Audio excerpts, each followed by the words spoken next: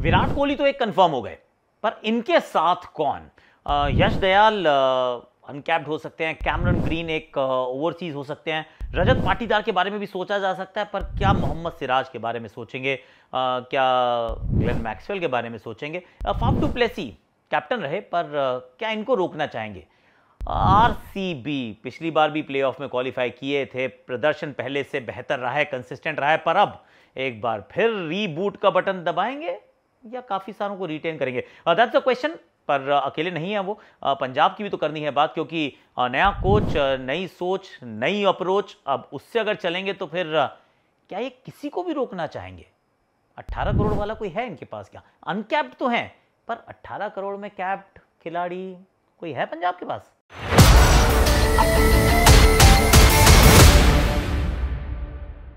Hash tag Akashvani में आप सभी का हाथ जोड़ के स्वागत है। कैसे हो आप लोग?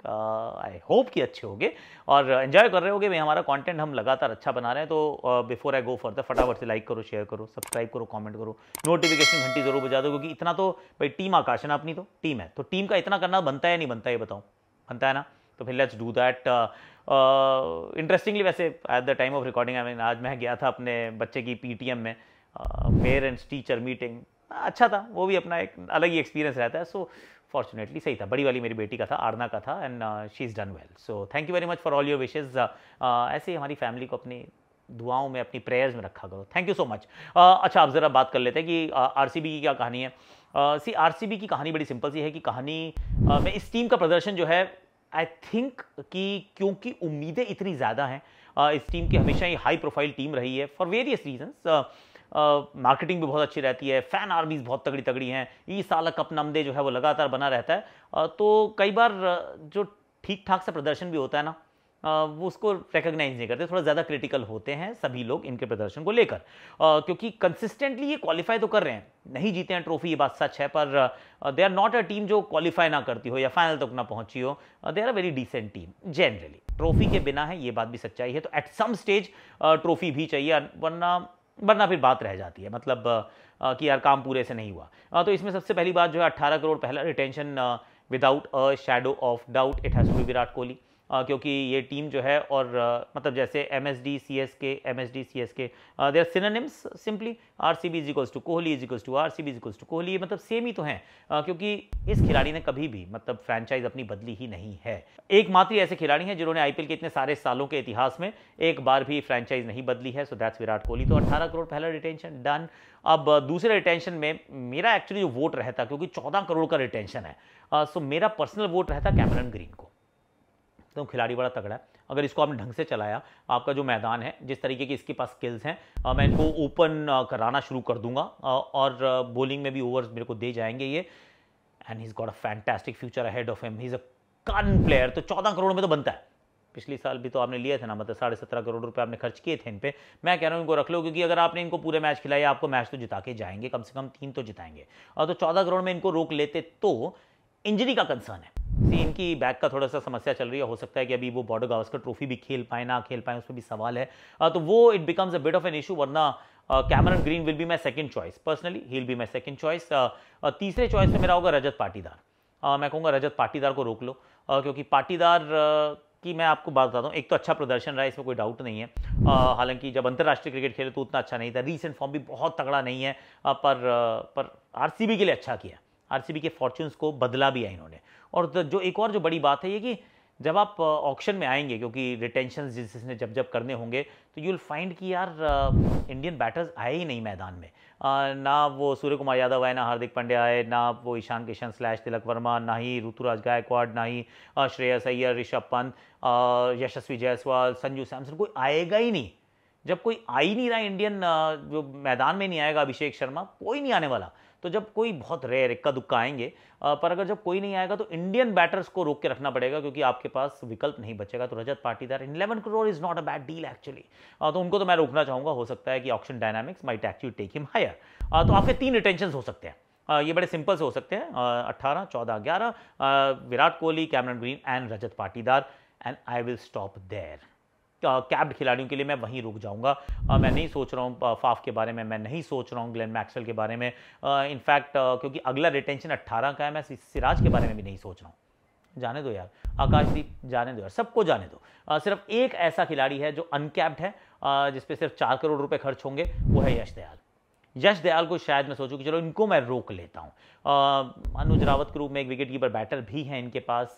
पर यश दयाल को मैं रोकने का प्रयास तो ज़रूर करूँगा कि भाई इनको चार करोड़ में अगर रोक सकूँ, और फॉर्चुनेटली वो उससे पहले वो टेस्ट क्रिकेट ना खेल जाएँगे कैप्ड खिलाड़ी बन गए तो इनको भी नहीं रोक सकता क्योंकि वो भी अट्ठारह करोड़ का रिटेंशन इनमें से कोई नहीं बनता है ऑनेस्टली सिर्फ़ दो ही ऐसे, मेरे विचार में दो ही ऐसे खिलाड़ी हैं जो पंद्रह, सत्रह, अठारह करोड़ के ब्रैकेट के हैं। एक हैं विराट कोहली, दूसरे हैं कैमरन ग्रीन तीसरा वहाँ पर तो कोई नहीं है।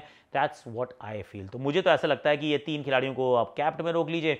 यश दयाल अगर अनकैप्ड रहते तो उनको रोक लीजिए। अगर वो भी कैप्ट हो जाते तो फिर राइट टू मैच कार्ड का इस्तेमाल करके आप आगे की तरफ़ बढ़ सकते हैं। अनुज रावत को अपनी थॉट्स में रख सकते हैं। आप सोच सकते हैं कि हम इनको रखना चाहते हैं। रखना है तो रख लो, महिपाल लोमरो रखना है तो रख लो। मतलब एक आधा कोई अनकैप्ड में फिर भी देर आर फ्यू ऑप्शन पर कैप्ड में इससे आगे सोचना मेरे लिए तो हो रहा है मुश्किल। आपकी क्या राय है? रोकना चाहिए किस किस को? ये ठीक है या कुछ मैं मिस कर जा रहा हूँ? बताओ जरा कमेंट सेक्शन में कि आरसीबी के लिए क्या करना चाहिए? आरसीबी को क्या करना चाहिए? पंजाब की करते हैं बात, क्योंकि पंजाब बड़ी कमाल की फ्रेंचाइज रही है। अगर हम आरसीबी को अंडर परफॉर्मर कह देते हैं तो फिर तो पंजाब हैजेंट अराइव्ड येट मतलब एक बार फाइनल खेले थे। उसके बाद तो हैंडफुल ऑफ़ टाइम्स है जब आप प्ले के लिए भी क्वालिफाई करते हैं। और टीम बड़ी एंटरटेनिंग ब्रांड ऑफ़ क्रिकेट खेलती है, इसमें कोई डाउट नहीं है, पर सच्चाई है कि ग्यारहवां कोच आ चुका है। नया को, नया कोच नई सोच, नई अप्रोच के साथ। अब देखो भैया नया नया आ गया हैं। Ricky Ponting is the eleventh coach क्योंकि अब शिखर धवन नहीं है तो they are also looking for a captain अब एक नया कैप्टन भी चाहिए होगा। सोलह ऑलरेडी हो चुके हैं, अब सत्रहवा कोई कैप्टन बनेगा भैया। जितने साल की टूर्नामेंट का इतिहास है ऑलमोस्ट उतने आपका कैप्टन हो चुके हैं। कोच नया आ चुका है तो अब मैं सोच रहा हूँ ये किसको रोकेंगे? इन्होंने सैम करण पे बहुत पैसे खर्च किए तो रोका था। पर उस समय ट्रैवर बेलिस थे। Trevor Bayliss English connection and Liam Livingstone भी थे जॉनी बेस्टो भी थे। Uh, बड़ा सॉलिड इंग्लिश क्रिस वोक्स भी यहाँ गए दबा के इंग्लिश खिलाड़ियों को इन्होंने पसंद किया था रोक के रखा था। Uh, पर you know how it happens right अब निकी पॉन्टिंग गए हैं तो सब इंग्लिश खिलाड़ियों को दरवाजे पर खड़ा कर दिया जाएगा। वो ना रुकने वाले किसी को इतने पैसों में। Uh, तो मुझे लगता है कि सैम करन भी गए लियम लिविंगस्टन भी गए जॉनी बेस्टो भी गए क्रिस वोक्स भी गए। अगर कोई मैं इंग्लिश खिलाड़ी भूल जा रहा हूँ तो वो भी गया। मतलब गए सारे गए। अर्शदीप को रोकना चाहता हूँ मैं। पर्सनली मैं रोकना चाहता हूँ अर्शदीप को। पर अर्शदीप अट्ठारह करोड़? नहीं रोकूँगा। मैं कहूँगा अर्शदीप को भी जाने देता हूँ। राइट टू मैच कार्ड तो है ही उसका इस्तेमाल बाद में कर लूँगा।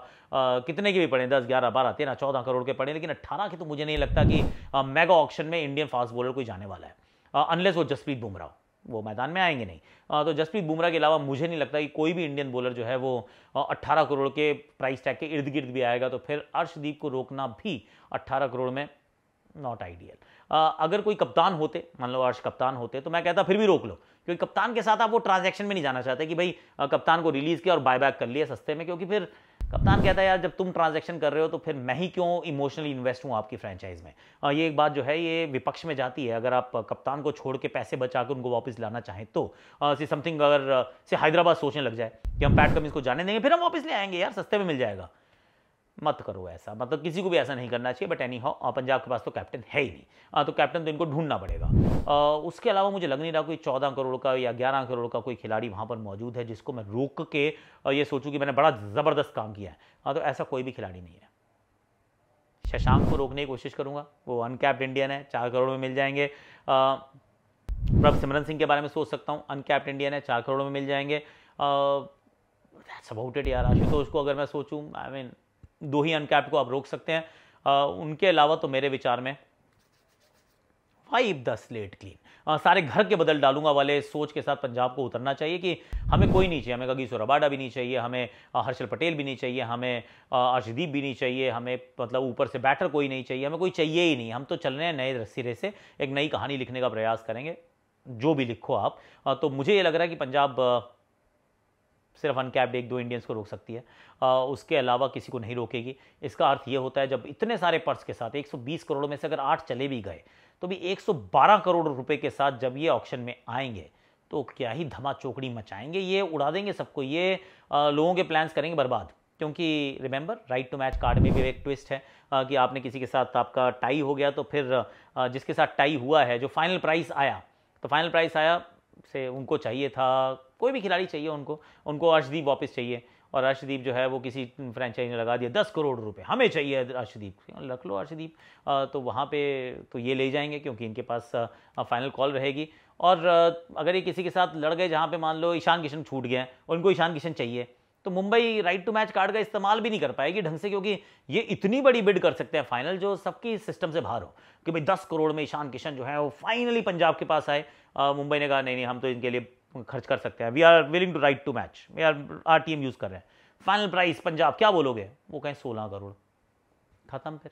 अब मुंबई सोलह करोड़ में तो उनको नहीं देने वाली। है तो ये जो है, ये पार्टी ऊपर ये स्पॉयलर्स बनने वाले हैं। इस बार बड़ा अच्छा काम ये करेंगे, जैसे हमेशा करते हैं। पर in terms of retention not too many not too many ऐसा मुझे लगता है। आपको क्या लगता है पंजाब के लिए? ज़रूर let me know in the comment section और like share subscribe comment notification घंटी बजाई देना, क्योंकि अच्छा लग रहा है कंटेंट तो बता दो, क्योंकि आप ही की जब ये जो आप लाइक करते हो या कमेंट करते हो या शेयर करते हो वो अपनी स्टोरी पे डाल देते हो तो फिर यूट्यूब भी क्या करती है, वो फेसबुक क्या करती है, इनको कहता है, अरे, ये तो भाई इनको कंटेंट पसंद आया तो let me serve this content तो आपके पास आ जाएगा।